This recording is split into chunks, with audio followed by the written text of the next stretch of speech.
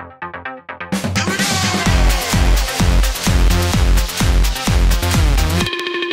on in here, our opening invitation to the dance.